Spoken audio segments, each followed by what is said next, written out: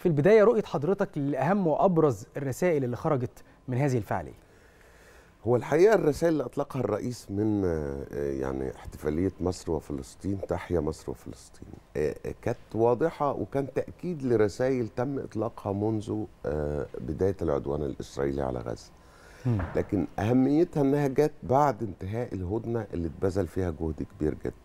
الحقيقة إنه على مدى الأسابيع الثمانيه اللي فاتت كان في تفاصيل كتيرة وكلام كتير و وتدخلات مختلفة لأنه الوضع عموما القضية الفلسطينية قضية مش بسيطة ومحدش ياخدها ببساطة وللأسف الشديد أنه بعض الأطراف أو يعني فكرة السوشيال ميديا والاستسهال وغيره أصبحت بتفتح الباب لكلام كتير.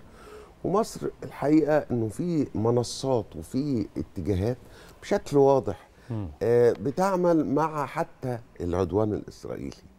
بالرغم إن بعضهم بيحمل جنسيات عربية في الدس في الوقيعة في المزايدات ودور مصر على مدى التاريخ الحقيقة يعني ما فيهاش نوع من الادعاء أو التفاخر إنه مصر كانت بتشتغل قبل ما دول كتيرة كانت تبقى موجودة أصلا الحقيقة. آه ومع ذلك مصر ما بتقفش خالص ضد أي جهود مبذولة. ويمكن إدراك الدولة الكبيرة بتبقى مدركة لحجم التحديات.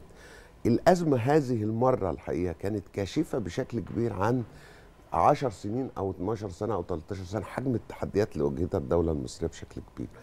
فالرسائل بتاعت الرئيس هي تأكيد لرسائل أطلقها منذ الكلية الحربية ثم اصطفاف الكويت السويس ثم مناطق مختلفة. إنه ال ال ال العدوان الإسرائيلي خد الفرصة هذه المرة في محاولة لي ممكن الرئيس أشار لده جعل الحياة مستحيلة في غزة بالشكل اللي ما يخليش الناس قادرين على الاستمرار في هذا المكان. يعني الحقيقة تدمير لكل عناصر الحياة.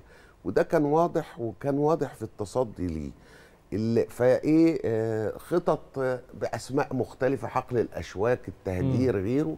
وده على مدى 75 سنة عمل و56 سنة من 5 يونيو حاولوا فيه وفشل. ونسمع إلقاء اللوم على مصر بقى. آه مم. الحقيقة إنه إلقاء اللوم ده طبعا أي حد كبير وأي حد بيشتغل بيبقى الكلام الأطراف الصغيرة بتعمل وبالذات اللي ما بيشتغلش بيبقى حريص. النهارده بقى في إمكانيات كثيرة جدا إنه الناس تشتري مساحات بس تشتري لجان إلكترونية تشتري تفاصيل كتير. لكن الرئيس مثلا يعني إغلاق فتح معبر رفح. مصر لم تغلق معبر رفح على الإطلاق من الجهة المصرية. لكن حصل قصف في الأول. ما كانش ممكن إن أنت تدخل مساعدات دون أن تمهد الطريق وتفتحه وتضمن أمان هذه صحيح. التفاصيل. إذا دخل وقود وتم قصفه أو دخل المساعدات يبقى لا, لا ده استفاد ولا ده استفاد. دي نقطة. النقطة الثانية فكرة التشابكات والتوازنات والتقاطعات. مصر بذلت جهد مهم جدا في تغيير الصورة في الخارج وده جهد الحقيقة كان ليس سهلا. كل مؤسسات الدولة إحنا بنقول دي عدوان دي حرب. م. مصر خدت أكتر من ثلاث أربع حروب على جبهات مختلفة ربما أهمها تغيير وجهة النظر الغربية الداعمة لإسرائيل من إنه ده دفاع عن النفس المزاعم الإسرائيلية. والحقيقة إسرائيل في الأول للحظات أو ليوم أو يومين نجحت في إنها تصدر الصورة العكسية الصورة اللي هي إحنا بنتضرب. والحقيقة خلينا أقول إنه دايما العدوان الإسرائيلي عنده ميزة إنه يضرب وهو بيعيط يضرب وهو بيقول إن أنا اللي بتضرب. بينما إحنا الحقيقة بنزعق ونزايد على بعض ونشتم بعض ونتخانق وينقي الجهة الرئيسية المستهدفة هي مصر الحقيقة. لأنه مصر مش بتشتغل لوحدها حتى مع الأطراف المختلفة. ومصر لما ما تعمل مثلا جهود لإطلاق الهدنة وتبادل المحتجزين وغيره تعمله مع أطراف مختلفة طبيعي. مصر ما قطعتش قنوات الاتصال خالص. مصر ليها وجهات نظر مختلفة مع العدوان الإسرائيلي بشكل واضح جذريا ومع الولايات المتحدة ومع ذلك بتحظى بثقة إن هذه الأطراف تلجأ إليه. دي نقطة شديدة الصعوبه أمر الآخر في فكرة الخطوط الحمراء إنه مصر بتتكلم دائما عنها بتمتلك قوة الردع بمعنى إنه عندي قوات مسلحة عندي جيش المصري من أقوى جيوش المنطقة.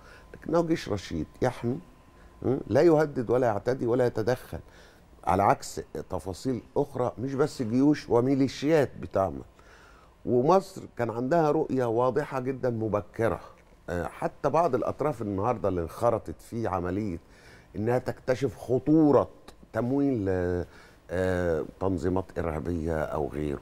النهارده اما بنبص لداعش داعش راحت فين؟ داعش دي كانت بتشتغل ليه؟ كانت عاوزة تنتزع جزء من عندك جزء من سوريا جزء من العراق تعمل دولة تسلمها ليه؟ دولة الاحتلال ده ال ال ال وكانوا بيتعالجوا هناك وكانوا بيتحركوا هناك فالأطراف اللي كانت بتمول داعش هي الأطراف التي كانت تعمل لصالح العدوان الإسرائيلي داعش لم تطلق آه، كلمة واحدة ضد آه، آه، دولة الاحتلال وبالتالي عودة لفكرة الخطوط الحمراء المصرية والرسائل المصرية. الرسائل المصرية كانت واضحة جدا في هذا الأمر.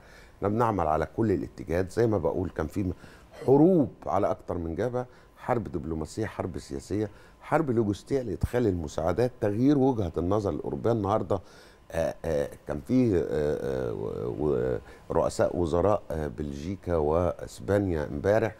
وأطلقوا تصريحات أغضبت العدوان. الإسرائيلي. تبنوا وجهة النظر